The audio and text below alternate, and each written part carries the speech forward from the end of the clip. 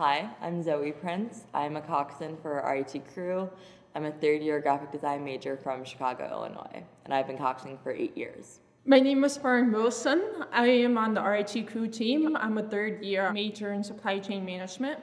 I've been rowing for three years, and I'm here with Jordan to talk about the relationship between coxswain and deaf and hard of hearing rowers.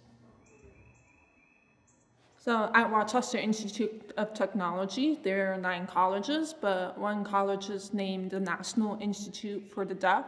So there's around 10% of the student population is deaf and hard of hearing. And in the classrooms, you would always see interpreters or captionists that are there for the deaf and hard of hearing students. I actually didn't start joining the crew team till my third year of college. I realized I really wanted to get back into sports because I missed it so much. You know, the first semester rowing on, on the novice team, I just fell in love with the sport and it just became who I am. The rowers are just focused on rowing, and that is their job. I'm basically their eyes and ears of everything else. They don't know what's going on, on outside of the boat, so it's my responsibility as a coxswain to tell them all that information. What exactly we're doing, where we are on a race course, what the other boats are doing on a race course, and all of that. So my job is to talk to the rowers. Um, and that's kind of hard when you can't really hear. So when I have my CIs on, you can see that I am vocal and I'm able to hear.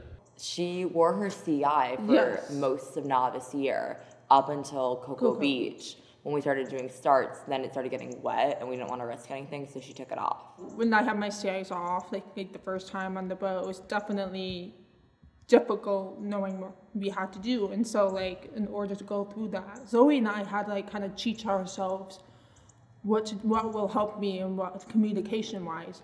So we came up with hand signals, paddling, um, let's see, power ten, uh, rain off, Oh yeah, we do like rain off. a lot of it's also mimicking the blades. Like if we're on the square now, like it's a square blade, and then like into we're gonna add the feather, one, two, and we'll add the feather. Or if I want her to like lengthen our catch, I started doing like an L and just like long, long. Or like sometimes if you were like going too deep with your blade, I would like try and show that you're going too deep. Um, or like if you were skying your blade, like I just like stick my hand up like that, and you would figure that out. And also we have signs for what type of starts that we're gonna be doing. Yeah, so it'll be like first five, or if we do like first five, high 10, or like half pressure, half speed, or like full pressure, full speed. Yeah, oh, ready. That's a big one because uh, obviously I'm not I'm though here, so I would always have to look at the clocks and see when are we starting. So ready, ready. Okay. It's dependent on each individual rower and what works for them, but like what works best for you is only telling you when you are doing something. A big thing that we did also, especially when starting out, was just into like one, two. So she knows, like, okay, into stroke, something is changing. Yes. I don't know what, but something is changing. So like be ready for that change. It definitely took an adjustment. Like there are even today, there's like still sometimes I'm like, oh, forgot to sign that. Oh, forgot I have to sign that. No one else had done this, uh, uh, having a duck rower on the crew team. So it was a really good learning experience uh, with the both of us. it just allows us to be more adaptable. The hand signals and let you be in any seat, any boat, anytime.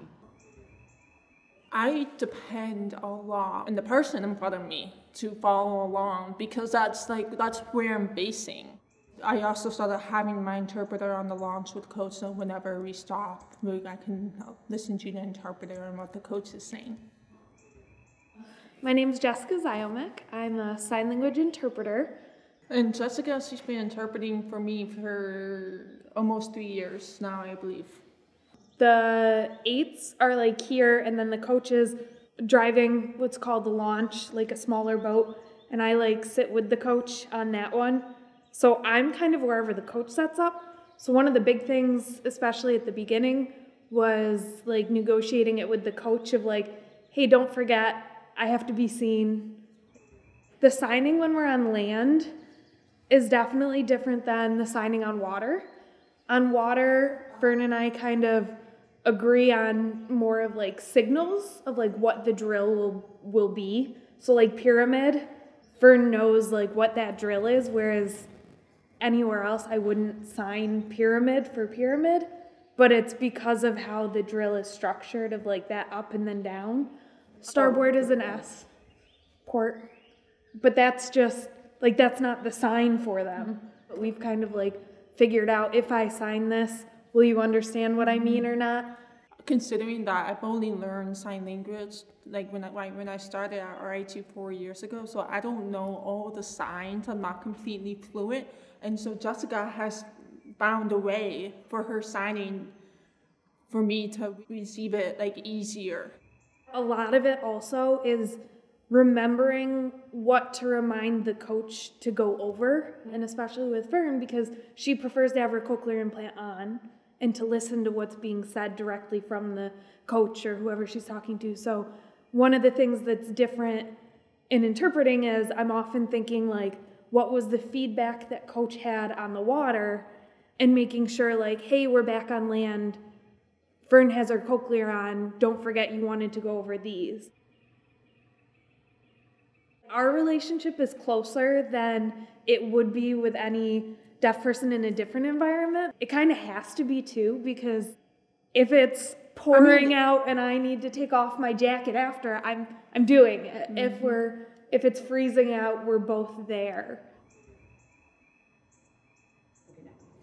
I think the biggest thing is that it's possible and like don't let it scare you because I know at first we were all like, okay, new challenge, like we can do this, but we don't know how. Like, and there are no resources. Hopefully, this helps and that we kind of create that resource. But it's possible. Like, do not let it scare you at all every deaf person is different and every deaf person has different communication preferences and as a team you have to match that preference and the important part is just to like work with the person and figure out what they want just listen to the deaf or hard of hearing people and what helps them keep trying things and keep trying like options if it doesn't work out it doesn't work out just try to improvise that and do, do something different and see what works.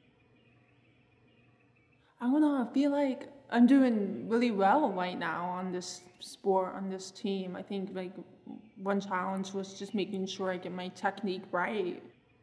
It feels easy to be on this team because the girls are so supportive. Correct me if I'm wrong, but I want to say her challenge is just the same as any other rower here right. not. Like just row well. Like my challenge is not, the challenge is like it's not that I am deaf